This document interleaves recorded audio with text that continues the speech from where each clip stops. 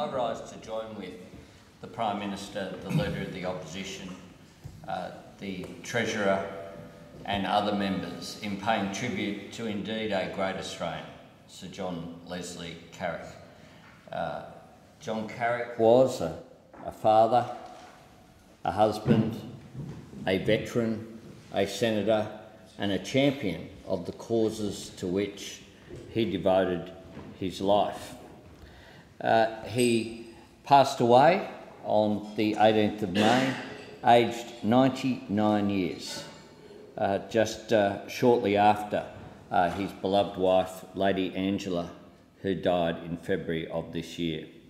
Uh, they had three daughters, Diane, Jane and Fiona. I spoke to Jane uh, last week. Jane is married, of course, to a former member, Bob Woods, and I got to know Sir John uh, through uh, my relationship with my mentor and father figure Tom Uren, who of course served with, with Sir John. He grew up uh, the fourth of six children in Sydney, in Woollahra, moved uh, to Randwick and eventually Bondi. Uh, he studied at Sydney Technical High School he delivered gas bills for AGL while studying economics at the University of Sydney. Uh, he lived in a time, though, that was turbulent, and he enlisted in the AIF in December of 1940. Uh, he was posted to the 18th Anti-Tank Battery and his unit was deployed to West Timor as part of Sparrow Force in December 1941 with orders to deny the island to the enemy. Uh, there he was captured along with some extraordinary, some extraordinary Australians. Tommy Uren, Bluey Rutherford, uh, these were, were giants of uh, Australian history. Uh, Lieutenant Carrick was, was captured two months later, together with other survivors, and was shipped to Java in July 1942. They then moved to Singapore's Changi camp and uh, worked on the railway, as they put it, uh, quite that simply at uh, the infamous Hellfire Pass. Uh, I had uh, one of the great opportunities I've had in my life was to visit uh, Hellfire Pass for the opening in 1987. This was a time when uh, many of these veterans, of course, since then have passed away. so Weary Dunlop, uh, was there along with Sir John Carrick, uh, Tom Uren and other veterans. And the extraordinary emotion uh, of these men who, who went through hell.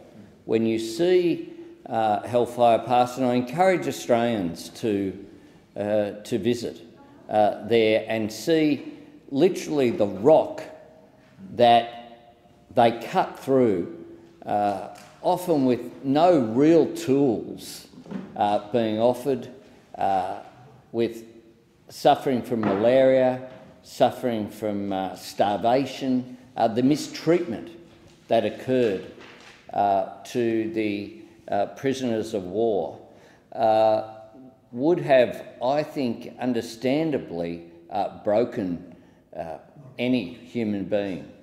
What was remarkable about these men was uh, that uh, they were so stoic about their experience that they had a sense of solidarity and looked after each other at that time and coming together uh, more than uh, 40 years after the war had ended, uh, they had, and it was my understanding is it was the the, the largest gathering of these men that happened in that period in one place. And uh, these were tough guys, um, but they cried, they talked, they drank, and they celebrated life and survival. But there was no bitterness from any of them uh, towards uh, their experience. What they were determined to do was to take that experience and, and cherish life and make the most of it for themselves, for their families, and for their country. And uh, Sir John Carrick, um, on, that, uh, on that visit, uh, there was a time where he wanted to go uh, down the River Kwai. Uh, and uh, we went down on a longboat, and I sat next to him for about four hours, um, there and back. And uh, the treasurer just spoken about the long chats. So he had a chat with me. I was a very young man, I was in my early 20s. And uh, we had a chat about our different um, philosophies, him an absolutely committed uh, Liberal uh, Party giant of the Liberal Party. Probably, uh, you know, three giants of the Liberal Party have been uh, Bob Menzies, Sir John Carrick, and John Howard. I think, I think they're the big three uh, in history.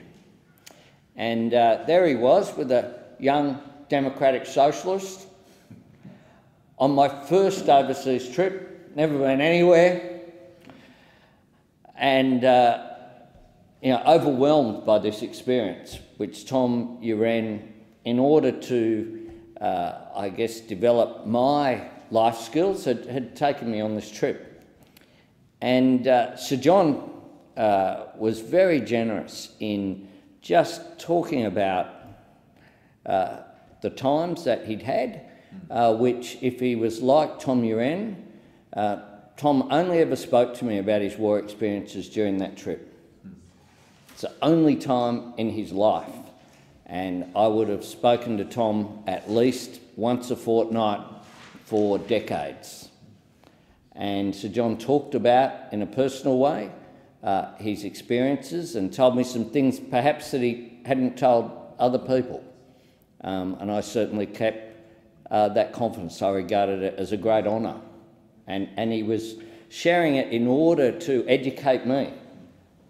And he talked about uh, his involvement uh, in the Liberal Party, about his philosophy, about his commitment to early childhood education. And uh, he was a, a great thinker. Uh, he was an intellectual.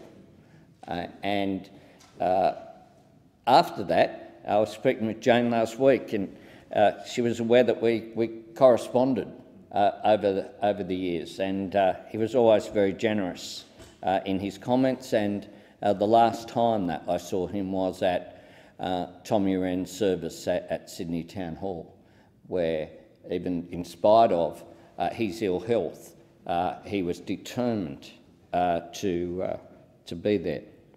What was remarkable, I think about all these people, and uh, one would hope that we would have the character to respond in a similar way, was that they bore the Japanese as a people no ill will at all, and indeed uh, Sir John Carrick refused to give testimony to any war crimes tribunal because he regarded that as about the past and that it was structures and systems of fascism that had created the problem, not the people.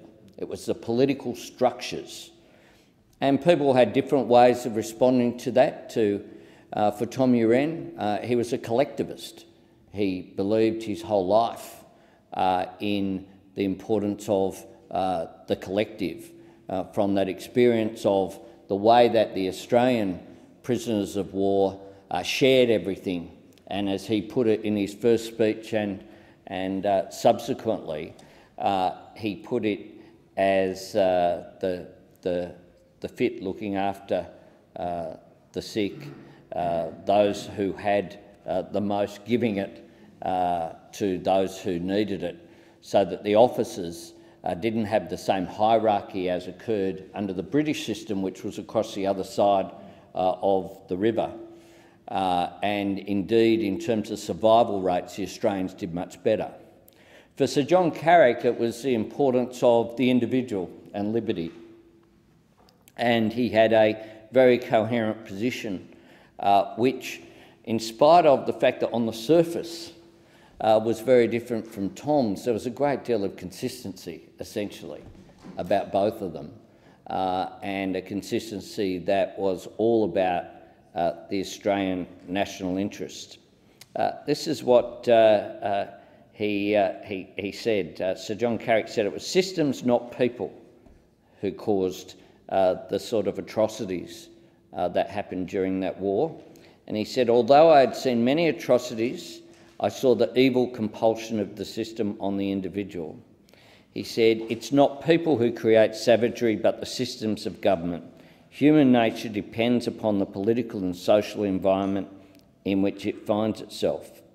Uh, I thought that uh, Troy Bramston's obituary in The Australian was very good. And he interviewed Sir John Carrick uh, last year, and in that interview, uh, Sir John said, uh, Good God, I've seen the most horrible things. Uh, I saw human beings in terror. And there he was um, talking about the Japanese that the whole structure of that system was one of terror. And today, when terror has a different form, uh, in particular the rise of Islamic terrorism, uh, a form of fascism that seeks to impose uh, its views on others in the most horrific way, uh, that discards uh, humanity and uh, human rights uh, today, that challenge remains for us in a different way. Sir John came back uh, and uh, to Australia, enrolled in a law course at the University of Sydney, and took a job as a research officer in the New South Wales division of the Liberal Party. Uh, two years later, he became the General Secretary of the New South Wales division, a position he held until 1971 it is remarkable that someone went through, someone who began uh, as General Secretary in the 1940s was still the General Secretary in the 1970s. Uh, I find that, that, quite extraordinary as someone who six years in a party office was six years too many for, for myself, as far as I'm concerned. Um, I, um, he, he went on to become uh, the uh, uh, Minister of Housing and Construction, Urban and Regional Development, Education, National Development and Energy, and Minister assisting the PM on federal affairs. He was appointed the Leader of the Senate in August 1978 and he retired from the Senate in uh, June of 1987. So it was interesting, there were a number of veterans who had at that time a solidarity across the chamber Think about the turmoil of that time. Uh, the election of the Whitlam government, uh, the dismissal in 75, uh, the uh, period of the Fraser government, and then the election of the Hawke government. Uh, there were a whole lot of people during that era who served uh, in this place, who I think, compared with our life experiences, we are so fortunate. We, we literally stand on their shoulders as a result of their sacrifice. And we should always uh, remember that. In 2008, uh, Sir John was appointed a Companion of the Order of Australia for, and I quote, distinguished service in the area of educational reform in Australia, particularly through the advancement of early childhood education and of the development and support of new initiatives in the tertiary sector. He continued to be an active servant of the community, post-politics, serving on boards and advisory committees, serving no doubt as a mentor to people like the Treasurer and many others uh, in the Liberal Party, uh, but also being prepared to uh, give advice to uh, people such as myself, uh, whilst being totally loyal uh, to his party. And there's no question that there was no more passionate supporter of the Liberal Party than Sir John Carrick. He also understood, and it's something that we should always understand as parliamentarians as well, that above all, we have one interest to serve in this place, and that is the national interest.